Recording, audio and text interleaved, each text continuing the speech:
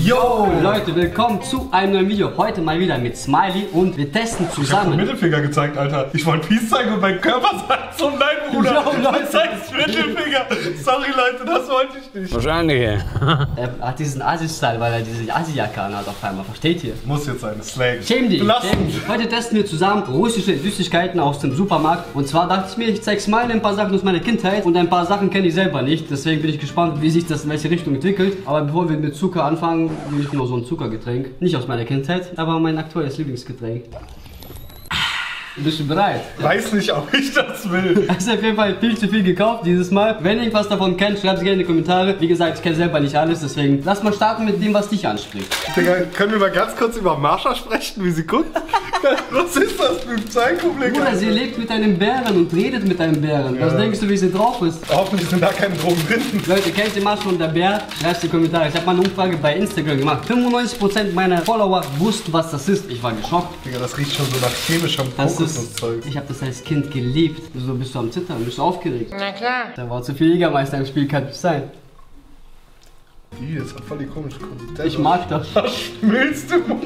Das ist nicht kalt, aber es schmilzt im Mund. Marshmallow schmelzt auch, Alter. Ja, aber wenn du es heiß machst. Ich mag's immer noch, Alter. Oh, nee. Mm. Nein, nicht ganz. Was halt komisch ist, das ist dieses Rosene mit Erdbeeren oder keine Ja, Ahnung. schmeckt so nach künstlicher Erdbeere. Die weißen sind besser. Nee. Oh, okay. Nein? Nee, gefakte Kokosnuss, Digga. Bruder, was ist mit dir? Ja, Mann, meine Kindheit, Alter. Ich lieb das. Verliebt. Das kennst du ja, oder? Das ist so wie Milchmädchen, ne? Ja, Mann, das ist Milchmädchen. Bruder, die Russen haben das erfunden. Das Digga. ist das originale Milchmädchen. Das heißt Sgushonka. Das- Kuschonka. Genau, Sgushonka. Ich hab das als Kind einfach gelöffelt, Alter. Ih, wie das aussieht. Mal, wie das hier direkt rauskommt. Ich habe das als Kind in einen kochenden Topf reingetan, also mit Wasser. Das Wasser aufkochen und einfach die Dose reinstellen und dann wird das hier karamellisiert. Dann ist es braun auf einmal. Das ist pervers geil einfach, oder? Nimmst davon so einen ganzen Löffel. Boah, Alter, pervers geil ist das. Das reicht schon so einmal. Das laberst du. Muss meine Kindheit spüren einmal. Rein mit dem Löffel, Alter. Boah, ich geh mir noch ein.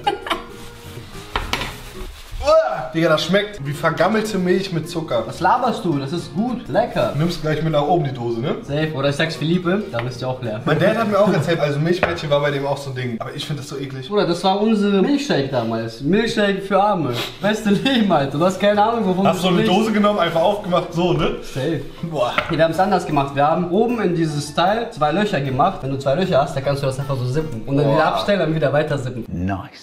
Uh, das sieht gut aus. Gebäckringe mit Mohn. Die heißen hier komischerweise Sushki. Sushki bedeutet so viel wie getrocknet. Aber eigentlich hießen sie damals Bubliki. Bubliki. Genau. Sollte eigentlich süß sein und es ist einfach nur trockenes Brot sozusagen. Ich habe das immer als Kind in heißen Tee reingemacht, damit es weich wird. Ist nicht ganz so süß, aber erinnert mich so ein bisschen an russisch Brot. Ja, ist schon anders auf jeden Fall. Ich kann mir echt gut vorstellen, wie er es damals in dieses äh, Das kann ich mir vorstellen. Das passt richtig gut zusammen. Danke für diese Idee. Mhm. Alter.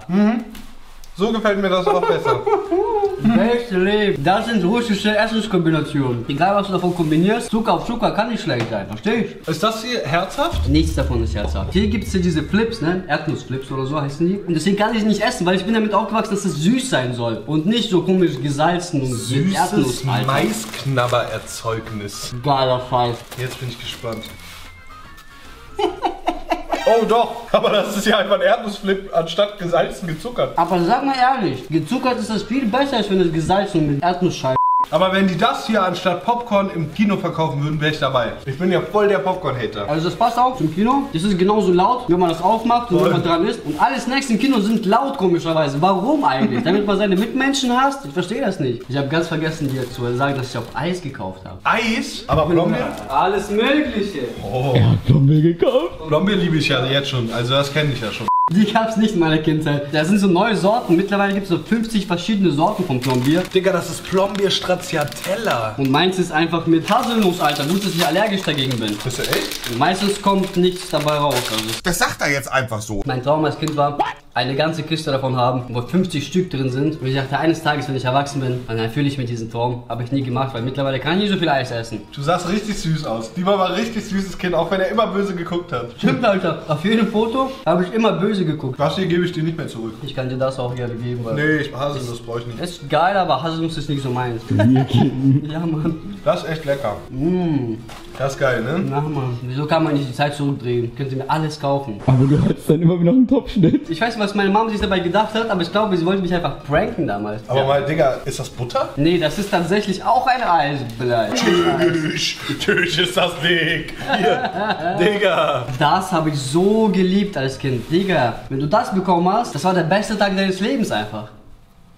Aber das sieht echt aus wie Butter. Aber gut. Wollen wir mal tauschen? Schmeckt ein bisschen wie Plombier. Das ist auch Plombier. Es steht auch drauf, Plombier. Weil Ach, Plombier klar. ist nicht die Form, sondern die Marke. Sorry, hat nicht drauf geguckt. Kann es sein, dass du dumm bist? Geh mal zurück hier. Ich mag das Den mehr. Hasen, echt? Ja, Mann. Oh krass, nee, ich nicht. Ah, warte mal. Wenn wir schon beim Plombier sind. Oh, stimmt, das fand ich sehr interessant. Hier. Was auch immer das ist. Habe ich noch nie in meinem Leben gesehen. Uh, das mit Schokolade. Meinst du, wenn man oh, reinbeißt?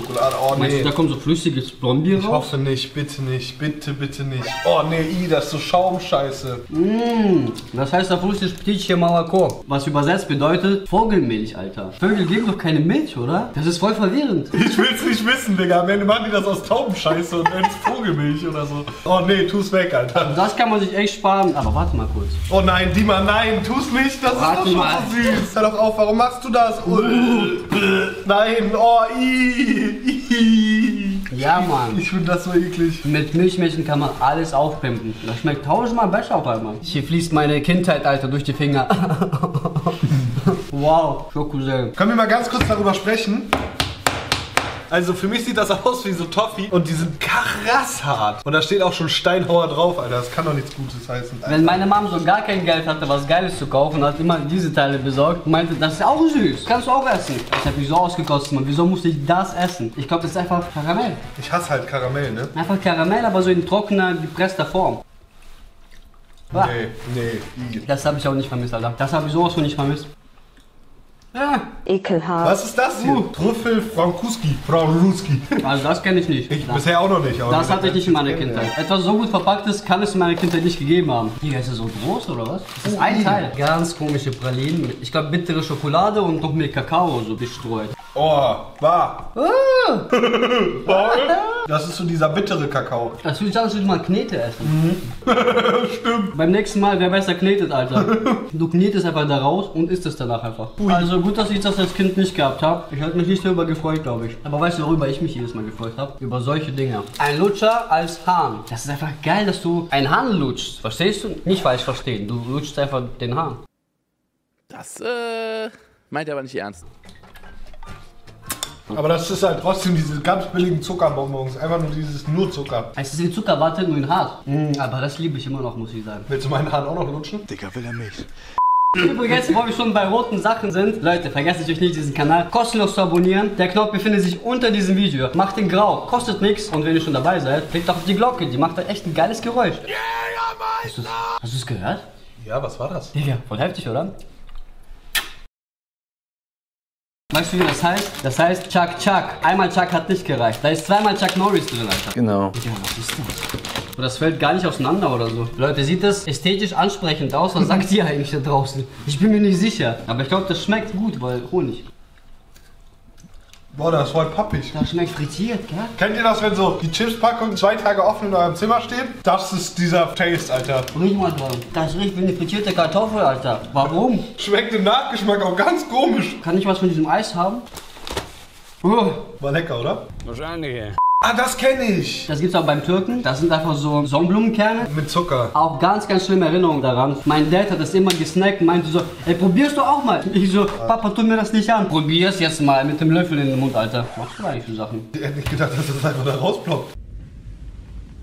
Das ist, als würde man Sahara essen. Und auch noch so einen komischen Nachgeschmack. Bäh, voll bitter auch. Warum? Wieso mag man das? Ich verstehe das nicht. Bestimmt einer von euch da draußen mag das und schwört darauf und schreibt es in den Kommentar. Ey, ihr habt keine Ahnung. Aber wenn du einer von denen bist, erklär bitte why. Schreib nicht einfach nur, ihr habt keine Ahnung, schreib warum. Warum? Bitte. Warum? Wenn nichts anderes da ist, packen die Russen einfach mit Alufolie ein, ne? SSSR heißt dieser Eis. SSSR. Also es ist UdSSR auf Russisch und die Verpackung ist auf jeden Fall sehr UdSSR-mäßig, Alter. Könnte auch eine Handgranate sein, der muss aufpassen, kommt aus Russland. Tschüss, Alter, siehst du, das explodiert schon. Das explodiert beim Aufmachen, ne? Splittert, Alter. Tschüss. Das ist genau die Art Schokolade, die ich auf Eis nicht mag. Die ist genauso knetig, weißt du, das ist so... Ich hab's nur hier Digga, das ist explodiert, ich hab dich gewarnt. Du bist so dumm, ey. Oh ja. Das schmeckt irgendwie nicht gesund. Genau diese billigste Art von Eis mit billigster Schokolade kombiniert. Das ist das Bild, was UdSSR an die Welt vermitteln möchte. Ich verstehe das nicht. Damit macht man sich keine Freunde. Stell dir vor, ein Ausländer probiert das, der denkt sich, oh, UdSSR. So schmeckt UdSSR wahrscheinlich. Das erinnert mich irgendwie an Schimmelkäse. Dieser mockige Nachgeschmack, weißt du, was ich meine? So modrig. Das kennst du, glaube ich, auch schon, weil Ja, das Robs ich. Schwester hat das letztens selbst gemacht und ich habe schon die Hälfte davon Ich rausgegessen. wollte gerade sagen, die Packung sieht ein bisschen leer aus dafür, dass die neu sein soll. hatte Hunger.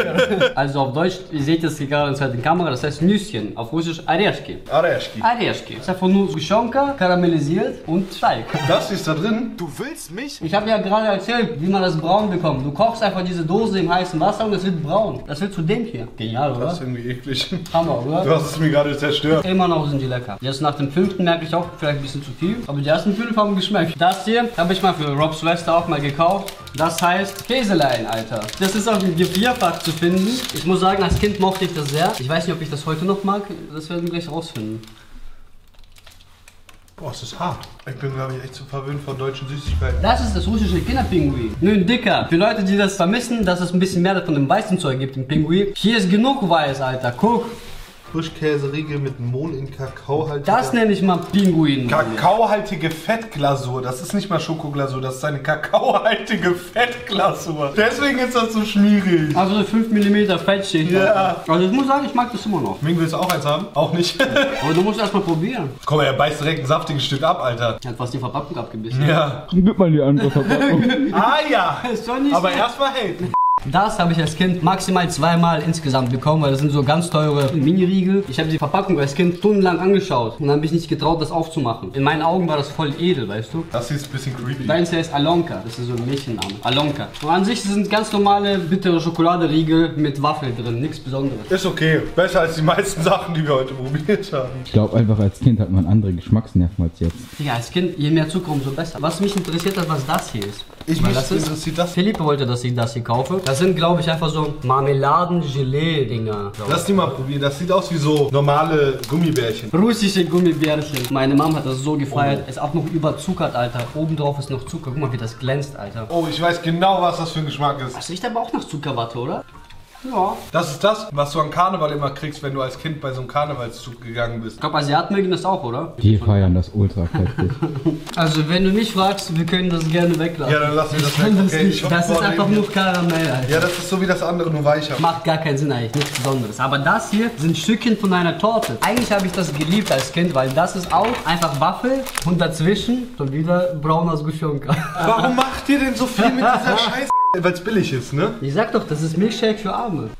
Ja, vorbei bei mir. Ich habe mir das echt leckerer vorgestellt, aber es geht. Meinst du, so russische Familien in Deutschland kaufen sich sowas für zu Hause? Bruder, ich war heute Morgen einkaufen. Das war Stau in den Gängen. Ich wusste nicht, wohin mit mir. Die ganzen russischen Tanten so. Äh, äh. Und ich merke schon, okay, die sind aggressiv drauf. Ich muss Platz machen, weil sie machen keinen Platz. Und die gucken mich so böse an. Alter, verpiss dich, was willst du von dir? Und die dachten wahrscheinlich, dass ich ein Deutscher bin. Vielleicht mögen sie keinen Deutschen, verstehst Kann gut sein, ja. Ich sehe deutsch aus, oder? Was würdet ihr sagen? Genau. Bruder, mit dem Hemd, Steuerberater und Bruder. der Frisur sein Vater, Alter. Schreibt's in die Kommentare. Habe ich mich gut angepasst? Na klar. Es war ein Großteil okay. Einiges aus meiner Kindheit finde ich immer noch gut, habt ihr ja gemerkt. Einiges ist gut, dass es aus meinem Leben weg ist. Werde ich auch nicht vermissen. Aber ihr könnt gerne in die Kommentare schreiben, was ihr davon kennt und was ihr davon mögt. Schaut auf jeden Fall auch bei Ming vorbei, hinter der Kamera, auch bei Smiley. Da gibt sicherlich ein neues Video, was online gegangen ist. Vergesst natürlich nicht, diese Videos auszuchecken, die hier eingeblendet werden. Diesen Kanal kostenlos zu abonnieren. Bis dahin bleibt schön gesund und gut drauf. Bye bye. Jetzt Wodka, oder? Der Jägermeister. Haben wir Meister? Ja. Ja, Haben wir hier? Im ja. Kühlfach, ja.